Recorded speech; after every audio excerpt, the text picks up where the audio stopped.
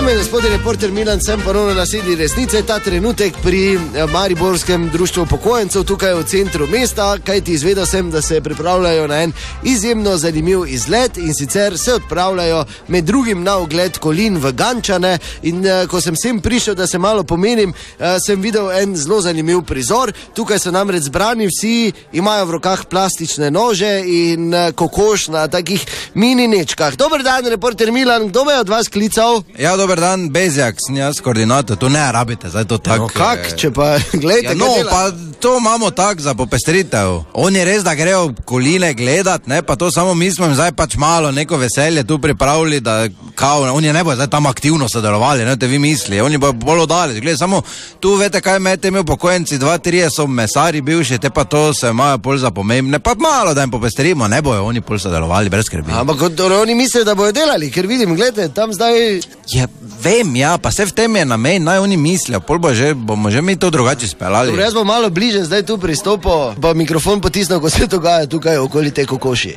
Zvonka, glej ti, če ne boš hitro mešala, se kri strdi, te gre vse skupaj v kurac. Ne moreš ti tako, to moraš hitro mešati, ko jaz pustim kri, ko si jo gor vržem. Jaz nič ne rabim, eh, Joža, ti zadnji mi samo za repijo primi, pa se mi ne meša, da ne bo ruku brcnilo, ker te veš, da boš celi zlaman. Že tako si nalomljen celi. Jaz bi tako narešil, da jo sam si gor, da jo pehnem, samo uh, važno je, da ti mešaš, pa da pumpaš. Veš, kaj mislim. Ja, veš, kaj je mešanje, tako važno, kaj te, ne? Kaj boš znala to? Ja, kak naj pumpam? Ja, pumpaš z nogo, ne? Pumpaš, da steče kri. Kaj z mojo nogo? Ne to, kaj si celo življenje delala, to, kaj pač moreš, no. Pa kaj jaz nimam od 20 ljudi enega sposobnega, pičeno, da bi jim bo to stregal zraven, kaj mogo vse sam narediti. Vse tako ne moramo na koline iti, če smo ekipa. Veš, da moramo biti dobri.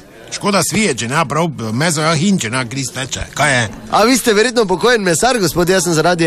Ja, še delam tudi. No, super, samo kura ni svinja, ne kot. Uh... Eh, če pa Bogdan se nekaj pajtla, pa ni pusto, jaz sem tako to prenes svijo not, se pa te ni problema. Svija nas smrdi, ni živa, ni mrtva, veste, kaj mislim reči. Če bi svijo imeli, bi zelo vse natenirali, samo Bogdan komplicira. Vredo je, gospod Štefan, dajte vi to na kuri eh, tu pokazati, pa... Ne morem jaz niti na kuri kazati, če si mi plastični nož dal, no.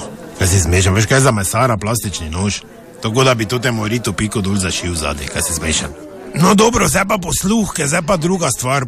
Ko to razkosamo, pa to pa klobase, vmes so ženske pripravile kašo, pa to sem jaz skozi ravnal. Za kašna tebele, za rdeče, pa pol za krvavice. Prvo, kdo kira bo špilala, uh, Jaz bi filala. ti ne moreš filat. Filam lahko samo jaz, ti lahko samo špilat. A tak? Kaj pa, ko sem ti dvakrat sovo po filo prišla, te pa nisi nič nožil brusal. Eh, Vredo je, no, mogoče lepa, bi ja. zdaj prekinili. Saj, ne pozabite, resnica ni plenica, vendar marsikomu smrdi. Hvala, ja.